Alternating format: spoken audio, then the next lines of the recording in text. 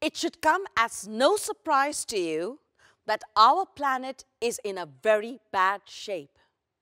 And I'm going to tell you how that is also affecting our health. How is our sick planet making us sick?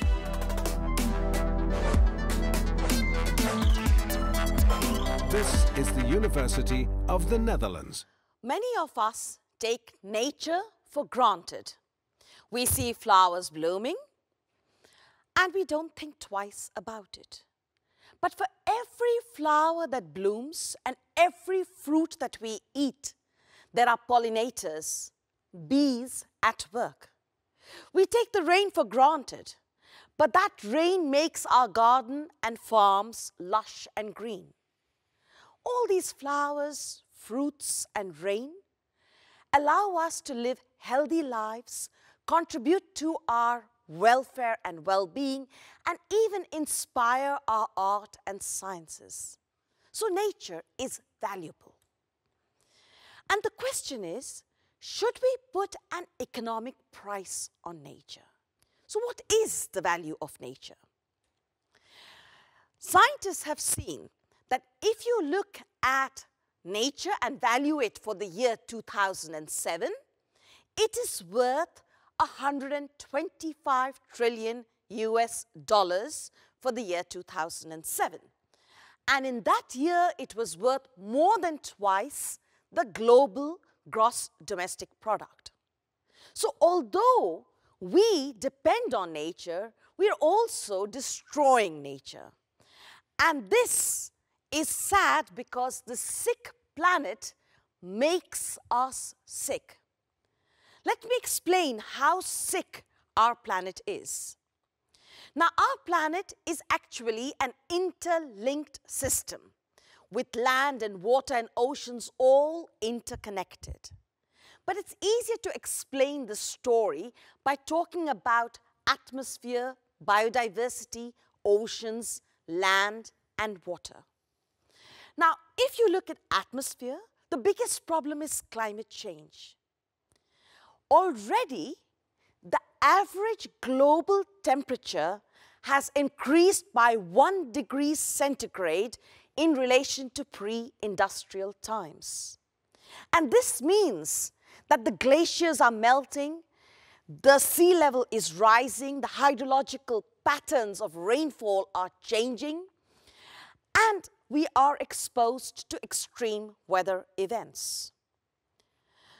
In terms of atmosphere, we also have two other problems, urban air pollution and rural household pollution.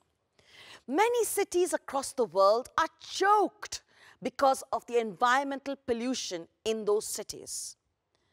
At the same time, rural households in developing countries often use traditional stoves to cook their food.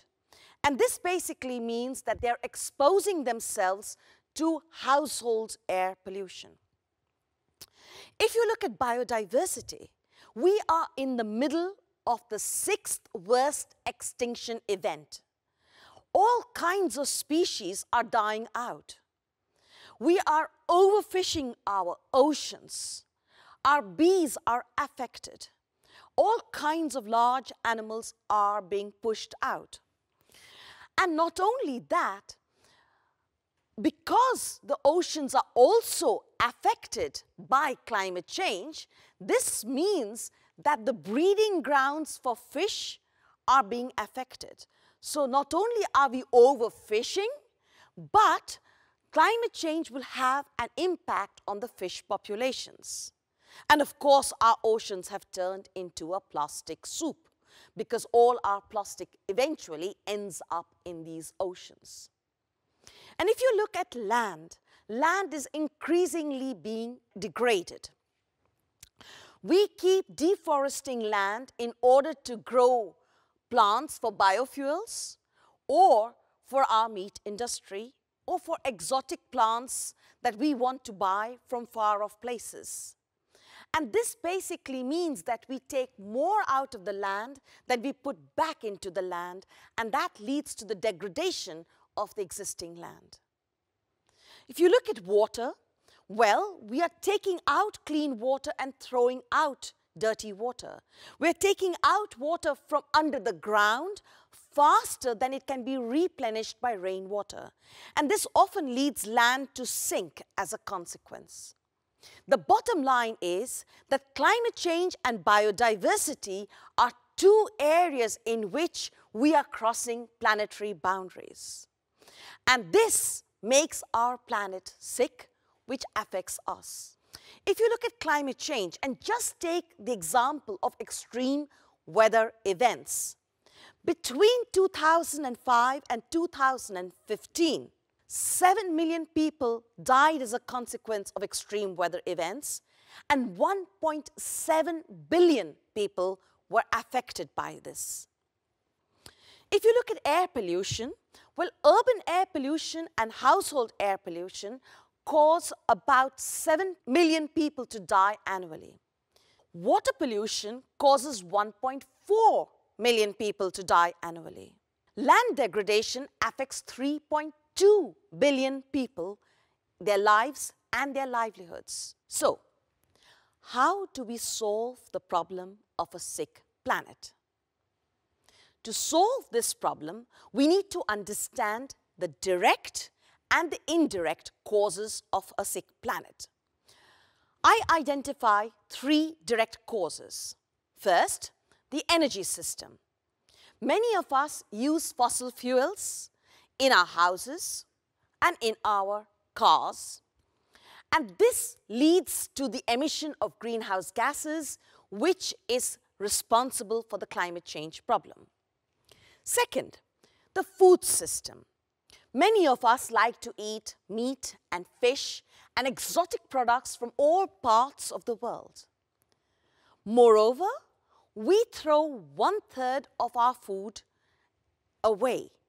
And this creates a huge impact on the planetary system. Third, the resource use and disposal system. Most of us like to buy all kinds of new products and each product implies that you are taking resources from nature and dumping waste on nature. These three direct causes are embedded within four larger indirect structural causes. First, population. We expect that the global growth of population will reach around 10 billion. And of course, each person implies an additional pressure on the planet. A second indirect cause is our focus on gross domestic product or national income. Each society wants to produce more, sell more, consume more. And the more we want to produce, sell and consume, the more resources we need for nature and the more we dump onto nature. Third, technology.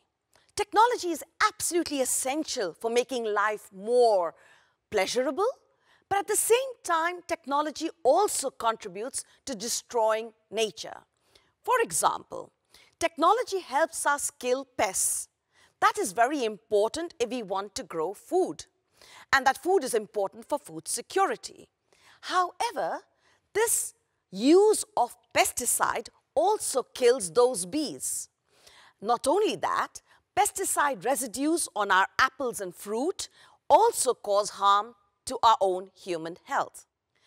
A fourth indirect driver or cause is urbanization. More people are moving from rural areas to urban areas. Now, on the one hand, this is good because maybe we live in a compact area in a city and there are economies of scale in our use of public transport or access to health services. But an urban lifestyle also brings aspirations and those aspirations may lead us to want to buy more products, have greater demands for recreation facilities and we want to travel more. So in many ways, urbanization also has a huge impact on the environment. So we have a sick planet with consequences for our health. But if we look at the current policies, these are nowhere in line with trying to achieve a healthy planet for healthy people. Now, of course, there are a whole lot of small win-win solutions available. But in order to protect the planet, we need structural change. And is this possible? I would argue that if we all put our minds to it, then individually and jointly, we can make the change that is necessary. If you look at ourselves individually, we could change our consumption patterns. Now, of course, most people worldwide do not consume much, but those of us who are wealthy, we could make a huge difference. But is it enough to save our planet? In order to save our planet, we need to do much more. And the problem is that there is some degree of political and economic resistance to such change. And this is related to three big challenges. First, if rich producers and rich consumers produce and consume less, this might have an impact on national income. And this is something that many governments would be reluctant to encourage. National governments are very focused on ensuring that national income goes up. In the end, it's all about money. And this really requires us to rethink the way we calculate our gross domestic product, our income, and the way our societies are structured. Second, it is not possible to recycle energy. Food recycling is very difficult, and most other products can be partially recycled. Third, if you look at the totality of our resources, let's take land, well, land is limited. You take fresh water, fresh water is limited. Many strategic minerals like phosphorus are also limited. And at this current moment, we are using almost one and a half times our Earth. If we were to actually reduce our consumption of resources from our Earth in line with what is possible and within the carrying capacity of the Earth, this would require us to share resources. Sharing becomes even more important in a world where 1% of the world owns as much as the remaining 99%. We will need to make rules regarding how we share the earth. These three problems require us to focus on structural change. But clearly, powerful actors will not be quite so willing to accept this message. One of the problems here is that most national leaders in democratic societies are in power for only four to five years. And this basically means that they do not have a long-term vision. The chief executive officers of the Fortune 500 companies are mostly CEOs for only a period of three to four years. So they too don't have a long-term vision. Now, while non-governmental organizations may have a long-term vision, they do not have the resources to push for change. And as a consequence, we are seeing the rise of social movements. Extinction Rebellion, Fridays for Future, and thousands of other smaller social movements are moving worldwide to change policies in relation to the environment and they're demanding social and ecological justice. At the start of this lecture, I focused on the question, how is our sick planet making us sick? Think back to the billions of people that have suffered as a consequence of an unhealthy planet. Think also of the number of small things we can all do. Eat less meat, use public transport, use the bicycle, but all these small things together may not be enough. So we also have to push for bigger things. We have to push for and demand a change in the economic system. Because in the end, we need a healthy planet for all to live a healthy life. Thank you.